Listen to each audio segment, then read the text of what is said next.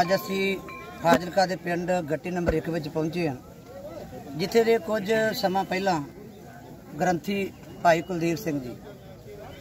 ਨਗਰ ਦੇ ਕੁਝ, ਮੈਂ ਤਾਂ ਮਾੜੇ ਅਨਸਰਾਂ ਵੱਲੋਂ ਭਾਈ ਸਾਹਿਬ ਨੂੰ ਕੁਝ ਅਪ ਸ਼ਬਦ ਕਹਿ ਕਹਿ ਗਏ ਸਨ, ਜਿਨ੍ਹਾਂ ਤੋਂ ਅੱਗ ਕੇ ਭਾਈ ਸਾਹਿਬ ਨੇ ਆਤਮ ਹੱਤਿਆ ਕਰ ਲਈ ਔਰ ਆਤਮ ਹੱਤਿਆ ਵਾਸਤੇ ਮਜਬੂਰ ਜਿਹਨਾਂ ਲੋਕਾਂ ਨੇ ਕੀਤਾ। ਆਓ ਇਹਨਾਂ ਵਾਸਤੇ ਗੱਲਬਾਤ ਕਰਨ ਵਾਸਤੇ ਜੋ ਸਾਡੇ ਕੋਲ ਜੋ ਸਿੱਖ ਸੰਸਥਾਵਾਂ ਦੇ ਅਹੁਦੇਦਾਰ ਪਹੁੰਚੇ ਨੇ ਜੋ ਸਾਡੇ ਕੋਲ ਭਾਈ ਸਤਨਾਮ ਸਿੰਘ ਜੀ ਵੱਲੀਆਂ ਪਹੁੰਚੇ ਨੇ ਭਾਈ ਸਾਹਿਬ ਸਭ ਤੋਂ ਪਹਿਲਾਂ ਵਾਹਿਗੁਰੂ ਜੀ ਕਾ ਖਾਲਸਾ। ਵਾਹਿਗੁਰੂ ਜੀ ਕਾ ਖਾਲਸਾ ਵਾਹਿਗੁਰੂ ਜੀ ਕੀ ਫਤਿਹ ਜੀ। ਭਾਈ ਸਾਹਿਬ ਜੀ ਜੋ ਅੱਜ ਭਾਈ ਕੁਲਦੀਪ ਸਿੰਘ ਦਾ ਮਸਲਾ ਇੱਥੇ ਹੋਇਆ ਗੱਟੀ ਵਿੱਚ ਪਹੁੰਚੇ ਹੋ ਤੇ ਭਾਈ ਇਸ ਕੁਲਦੀਪ ਸਿੰਘ ਨੇ ਜੋ ਆਤਮ ਹੱਤਿਆ ਕੀਤੀ ਆ ਇਹਦੇ ਬਾਰੇ ਆਪ ਜੀ ਕੀ ਕਹਿਣਾ ਚਾਹੋਗੇ?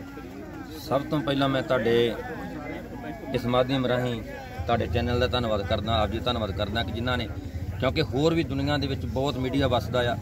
ਕਿਸੇ ਨੇ ਮੀਡੀਆ ਨੇ ਪ੍ਰਿੰਟ ਜਾਂ ਇਲੈਕਟ੍ਰੋਨਿਕ ਨੇ ਇੱਥੇ ਆਉਣ ਦਾ ਹਿਆ ਨਹੀਂ ਕੀਤਾ। ਸਭ ਤੋਂ ਪਹਿਲਾਂ ਮੈਂ ਤੁਹਾਡਾ ਧੰਨਵਾਦ ਕਰਦਾ। ਉਦੋਂ ਬਾਅਦ 'ਚ ਭਾਈ ਕੁਲਦੀਪ ਸਿੰਘ ਬਾਰੇ ਮੈਂ ਗੱਲ ਕਰਦਾ ਆ ਕਿ ਭਾਈ ਕੁਲਦੀਪ ਸਿੰਘ ਨੇ ਆਤਮ ਹੱਤਿਆ ਨਹੀਂ ਕੀਤੀ, ਉਹਨੂੰ ਮਜਬੂਰ ਕੀਤਾ ਗਿਆ ਹੈ। ਕਿਉਂਕਿ ਗੁਰੂ ਗ੍ਰੰਥ ਸਾਹਿਬ ਦੀ ਹਜ਼ੂਰੀ ਦੇ ਵਿੱਚ ਜਿਸ ਵੀ ਬੰਦੇ ਨੂੰ ਆਮ ਵਿਅਕਤੀ ਜਿਹੜਾ ਉਹ ਵੀ ਨਰਾਦਰ ਜਿਹੜਾ ਆਪਣਾ ਸਹਿਨ ਕਰ ਸਕਦਾ ਗੁਰੂ ਕਾ ਵਜੀਰ ਨਿਤਨੇਮ ਕਰਦੇ ਆ ਉਹਦੇ ਦਾੜੇ ਨੂੰ ਹੱਥ ਪਾਇਆ ਜਾਵੇ ਉਹਦੀ ਕੁੱਟਮਾਰ ਕੀਤੀ ਜਾਵੇ ਮੈਂ ਸਮਝਦਾ ਆ ਕਿ ਗੁਰੂ ਗ੍ਰੰਥ ਸਾਹਿਬ ਦਾ ਨਰਾਦਰ ਵੀ ਨਾਲ ਕੀਤਾ ਆ। ਇਹੋ ਜਿਹੇ ਦੋਸ਼ੀ ਜਿਹੜੇ ਆ, ਇਹਨਾਂ ਦੋਸ਼ੀਆਂ ਨੂੰ ਸਜ਼ਾਏ ਮੌਤ ਚਾਹੀਦੀ ਹੈ ਇਹ ਦੋਸ਼ੀ ਜਿਹੜੇ ਇਸੇ ਨਗਰ ਦੇ ਨੇ?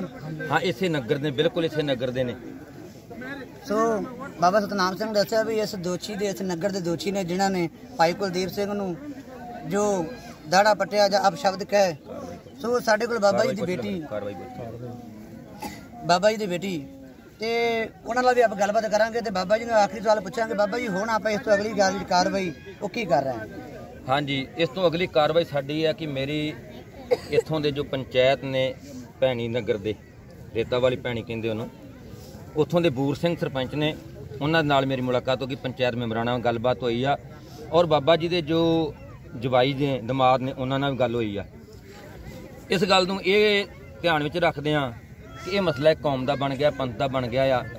ਕਿਉਂਕਿ ਗ੍ਰੰਥੀ ਸਿੰਘ ਤੇ ਇਸ ਤਰ੍ਹਾਂ ਹਮਲਾ ਕਰਨਾ, ਮਜਬੂਰ ਕਰਨਾ, ਅਸੀਂ ਵੱਧ ਤੋਂ ਵੱਧ ਕਿਉਂਕਿ ਐਸਪੀ ਐਸਐਸਪੀ ਹਰਜੀਤ ਸਿੰਘ ਫਾਜ਼ਿਲਕਾ ਜੋ ਜ਼ਿਲ੍ਹਾ ਫਾਜ਼ਿਲਕਾ ਦੇ ਪ੍ਰਬੰਧਕ ਨੇ ਪੁਲਿਸ ਪ੍ਰਸ਼ਾਸਨ ਦੇ।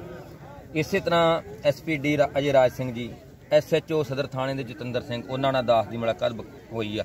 ਹੁਣ ਤੇ ਗੱਲ ਵੀ ਹੋਈ ਆ। ਸੋ ਇਹਨਾਂ ਦੇ ਨਾਲ ਅਸੀਂ ਰਾਬਤਾ ਕਾਇਮ ਕੀਤਾ ਆ। ਜਿੰਨਾ ਚਿਰ ਦੋਸ਼ੀਆਂ ਨੂੰ ਪਕੜ ਕੇ ਸਜ਼ਾਵਾਂ ਨਹੀਂ ਦਿੱਤੀਆਂ ਜਾਂਦੀਆਂ, ਅਸੀਂ ਸਾਨੂੰ ਲੋੜ ਪਈ ਪਿੰਡ ਦੇ ਸਹਿਯੋਗ ਦੇ ਨਾਲ ਜਿੰਨੀਆਂ ਵੀ ਗ੍ਰੰਥੀ ਸਭਾਵਾਂ ਇੱਥੇ ਆਈਆਂ, ਮੈਂ ਉਹਨਾਂ ਨੂੰ ਕਾਲ ਕਰਾਂਗਾ, ਅਸੀਂ ਕਾਲ ਕਰਾਂਗੇ ਆਪਣੀ ਜਥੇਬੰਦੀ ਵੱਲੋਂ।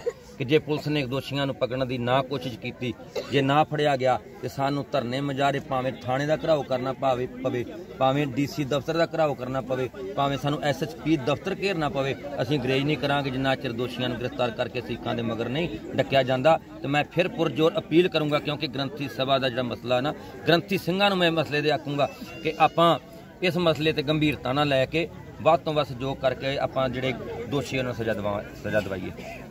ਸੋ ਬਾਬਾ ਸਤਨਾਮ ਸਿੰਘ ਨੇ ਬਲੀਆਂ ਨੇ ਇਹ ਭਰੋਸਾ ਦਵਾਇਆ ਪ੍ਰਸ਼ਾਸਨ ਨੂੰ ਵੀ ਪੁਰਜੋਰ ਅਪੀਲ ਕੀਤੀ ਹੈ ਵੀ ਦੋਸ਼ੀਆਂ ਤੇ ਜਿਹੜੀ ਕਾਰਵਾਈ ਕੀਤੀ ਜਾਵੇ। ਸੋ ਸਾਡੇ ਕੋਲ ਬਾਬਾ ਕੁਲਦੀਪ ਸਿੰਘ ਦੀ ਬੇਟੀ ਉਹ ਵੀ ਹਾਜ਼ਰ ਨੇ।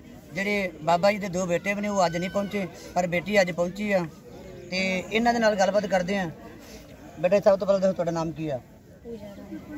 ਥੋੜਾ ਉੱਚਾ ਬੋਲੋ। ਪੂਜਾ ਰਾਣੀ। ਅੱਛਾ ਬੇਟਾ ਤੁਸੀਂ ਜੋ ਭਾਈ ਕੁਲਦੀਪ ਸਿੰਘ ਦੀ ਜੋ ਮੌਤ ਹੋਈ ਹੈ ਤੁਹਾਡੇ ਪਿਤਾ ਜੀ ਸਨ ਤੇ ਹੁਣ ਪ੍ਰਸ਼ਾਸਨ ਤੋਂ ਸਰਕਾਰ ਤੋਂ ਕੀ ਮੰਗ ਚਾਹੁੰਦੇ ਹੋ?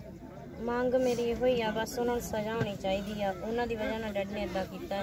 ਜਿਹੜੇ ਬਿਆਨ ਦੇ ਗਏ ਡੈਡੀ ਹਸਪਤਾਲ ਬਸ ਉਹਨਾਂ ਬਿਆਨਾਂ ਤੇ ਕਾਰਵਾਈ ਹੋਣੀ ਚਾਹੀਦੀ ਜੇਲ੍ਹ ਚ ਹੋਣੇ ਚਾਹੀਦੇ ਉਹ ਬਸ ਤਿੰਨਾਂ ਜਣਿਆਂ ਦੇ ਨਾਮ ਖਾ ਗਏ ਡੈਡੀ ਪਰ ਪਤਾ ਨਹੀਂ ਮੈਨੂੰ ਕੌਣ ਆ। ਇੱਕ ਬੀਬੀ। ਹਾਂਜੀ ਉਹਨਾਂ ਦੇ ਤਿੰਨਾਂ ਜਣਿਆਂ ਦੇ ਨਾਲ ਖਾ ਗਏ ਉਹਨਾਂ ਦੀ ਕਾਰਵਾਈ ਇੱਕ ਬੀਬੀ ਨਾਲ। ਇੱਕ ਬੀਬੀ ਨਾਲ।